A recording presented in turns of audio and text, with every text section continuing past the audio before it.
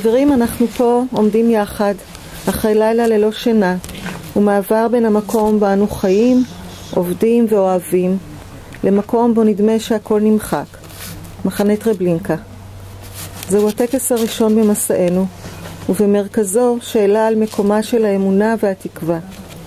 אנחנו, דניאלה, אמיר, רינה, עימד, אמילי, עינת, מרגי, נתנאל, טליה וליאת, וכל חברי המשלחת, העובדים יחד כתף אל כתף בבית החולים, אשר ייעודו להציל חיים ולתמוך במאמצי החיים להגיע לרווחה גופנית ונפשית.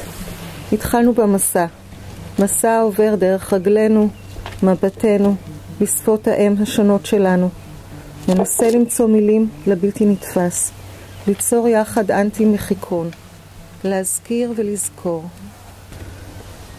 לוקחים איתנו את המילים ממסכת אבות, במקום בו אין אנשים, משתדל להיות איש. את השיר "סעו לטרבלינקה" כתבה הלינה בירנבאום עם שובה מפולין בשנת 1800, 1986. פיקחו את עיניכם לרווחה, חדדו את השמיעה, ייצרו את הנשימה והקשיבו לקולות הבוקעים שם, מכל גרגר אדמה. סעו לטרבלינקה, הם מחכים לכם שם, צמאים לכל חייכם, לאות לקיומכם, לצד רגליכם, למבט אנושי, מבין וזוכר, לליטוף של אהבה על עפרם, סעו לטרבלינקה. סעו מרצונכם אתם, החופשי, סעו מכוח הכאב על האימה שהתרחשה, מעומק ההבנה והלב כואב ולא משלים. הקשיבו להם שם בכל החושים. סעו לטרבלינקה, שם הדממה הירוקה, הזהובה או הלבנה, העוטפת אותם בכל אחת מעונות השנה, תספר לכם סיפורי סיפורים על החיים שהפכו אסורים ובלתי אפשריים. סעו לטרבלינקה, ראו איך הזמן שם עצר, הקשיבו לזמן העומד, לשתיקת המתים הרועמת, ולאבנים בדמות אנוש הבוכות שם בדממה, סעו לטרבלינקה לחוש זאת לשנייה. סעו לטרבלינקה, הצמיחו פרח בדמעה חמה, בנשימה אנושית, מול אחת האבנים, זכר לקהילה שלמה על האדמה שהיא גופם ועפרם. הם מחכים שם בטרבלינקה, שתבואו ותקשיבו לסיפורים הזועקים מתוך הדממה.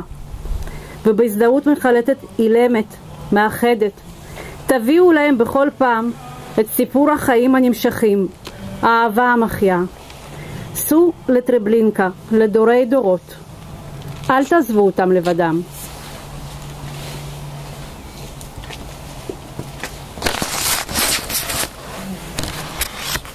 התחנה הקטנה טרבלינקה היא שיר מאת ולדיסלב שלגן, שנכתב בעת שהותו בגטו ורשה, כמעין סימן אזהרה ליהודי הגטו על הצפוי להם במחנה טרבלינקה. הוא אומר, הנסיעה לשם נמשכת חיים שלמים עד מותך, ובעבור מיליון לא תקבל כרטיס חזור. תרגמה אותו לעברית מפולנית אלינה בירנבאום, שכתבה גם את השיר הקודם שקראנו. היא אמו של יעקב גלעד. הלחין ושר אותו פוליקר, באלבום אפר ואבק.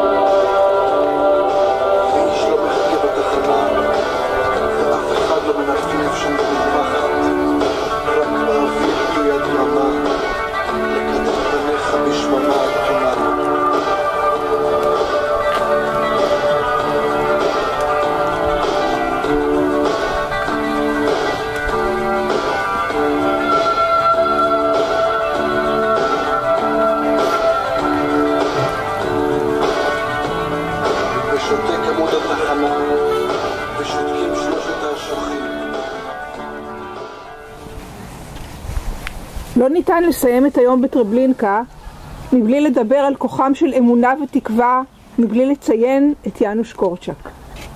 יאנוש קורצ'אק נולד ב-1878 כהנריק גולדשמיט, ממשפחה יהודית בוורשה שבפולין. הוא למד רפואה באוניברסיטת ורשה והתמחה ברפואת ילדים. בשנת 1912 התמנה למנהל בית היתומים החדש בוורשה. הוא חיבר למעלה מ-20 ספרי הגות וספרי ילדים, אותם פרסם תחת השם הבדוי יאנוש קורצ'אק, ובהם פר- פרס את משנתו החינוכית. פועלו השפיע על חקיקה בנושא זכויות הילד, ומשנתו היוותה את הבסיס לכינון האמנה הבינלאומית לזכויות הילד של האומות המאוחדות. אחד מספריו המפורסמים ביותר הוא המלך מתיה הראשון. עלילתו מחמירת הלב מספרת על מתיה, נסיך בן עשר, שהתייתם מהוריו ונאלץ להפוך למלך. כמו קורצ'ק עצמו, שואף גם מתיה המלך הילד להקים ממלכה אוטופית לילדים, ממלכה עם חוקה ושוויון זכויות לילדים. כמלך בעל כורחו, חייב מתיה לנתב את הממלכה עם אויבים מבית ומחוץ. יותר מהכתר שעל ראשו מכבידה עליו מועצת המבוגרים העוינת, המובילה את הממלכה למלחמה שלא רצה בה. הוא תוהה, למה מפקד הצבא מטומטם? מה לעשות כדי שלא תהיה מלחמה? אם רוצים שלום, למה מתכוננים למלחמה?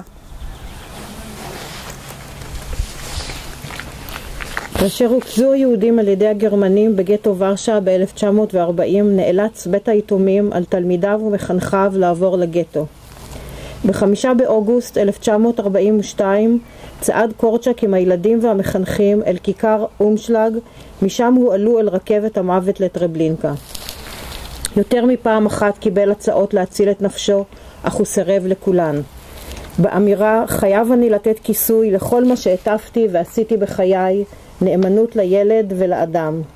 הוא צעד כשמאחוריו כ-200 ילדים מסודרים בשורות, שני ילדים בזרועותיו וראשו מורם.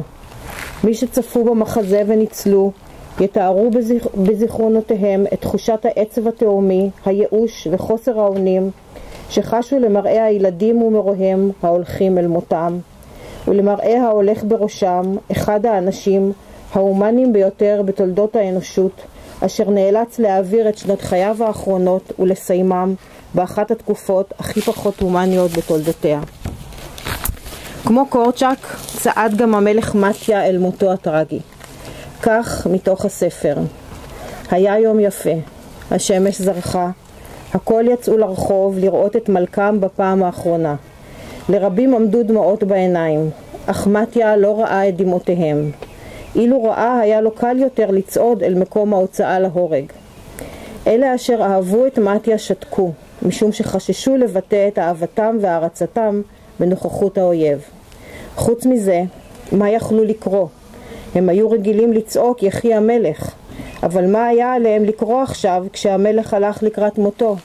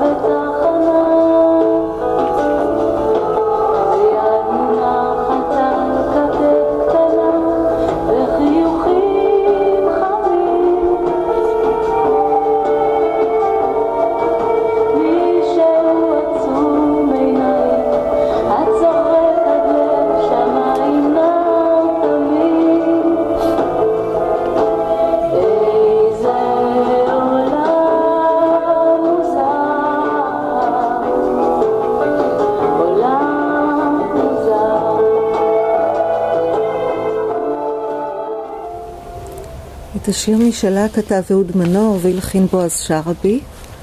אני מזמינה את חברנו פרופסור קסיס להקריא טקסט שכתב בעצמו עבורנו.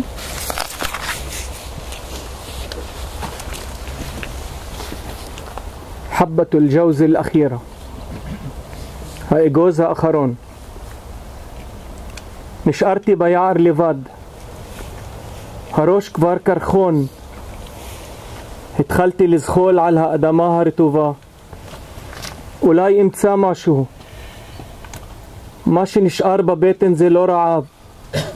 הקיבה הצטמקה והצטמקה. כבר לא זוכרת מה זה רעב. יש ריקנות שאוכל כבר לא יכול למלא. החלום על אוכל נמצא רק בראש, והראש קוביית קרח כבר. הרוח נשבה, סנאי עבר במהרה, העץ התנדנד. מלמעלה נפל משהו על ראשי, החליק קליק קליק ונחת על הקרח. אגוז? יש עוד אגוזים ביער? לשבור אני לא יכול.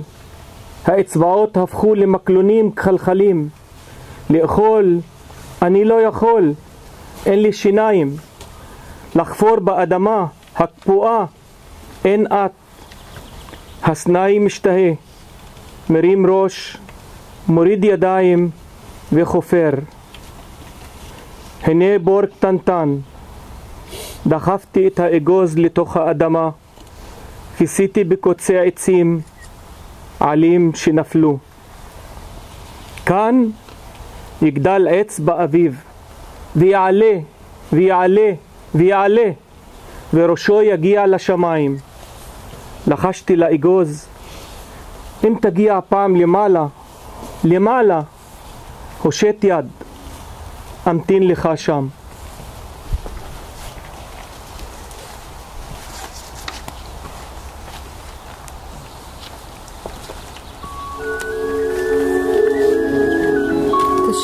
כתב שי גבסו, לחן אהובה עוזרי ומשה דאבול.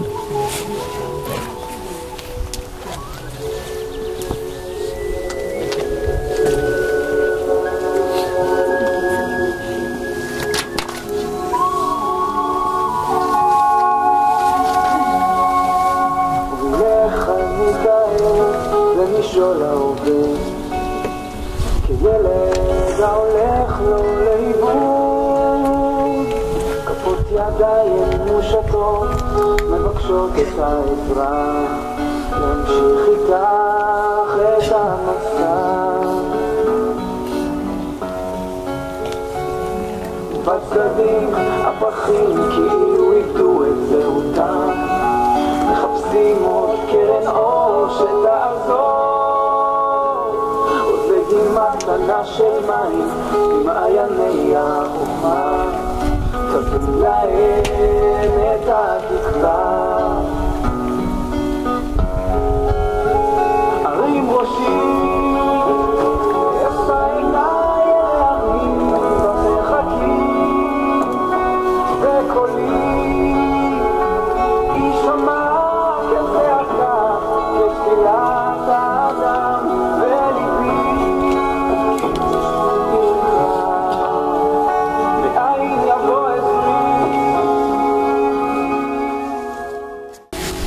האנדרטאות כתב חנוך בר-טוב אנחנו עם אשר האנדרטאות שהקים לא היו אף פעם אנדרטאות ניצחון.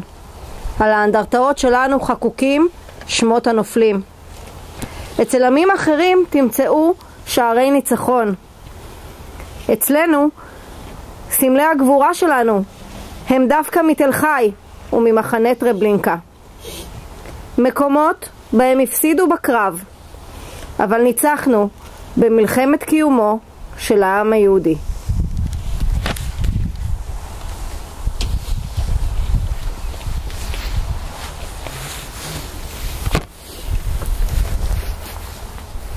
כל יהודי, כל יהודי נולד עם מספר דמיוני על היד, שהולך איתו תמיד, לאורך חייו, לאורך מותו. כל יהודי, כל יהודי נולד עם רכבת שקופה, ממנה ירד ועליה חייו. ועליה צחוק ילודיו. כל יהודי נולד עם מסע כבד על הגב וטלאי צהוב מרופט שנעוץ בדופן ליבו. כל יהודי חייב לשאול את עצמו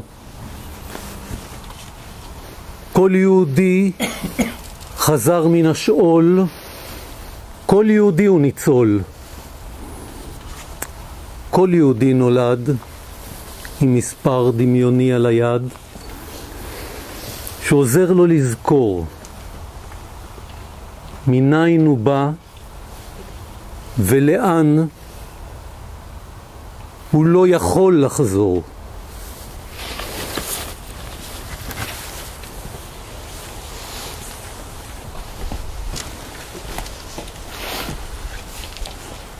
אנחנו נצטרף כולנו לשירת התקווה, סיום הטקס. 喷点黑的。不喷就。哦。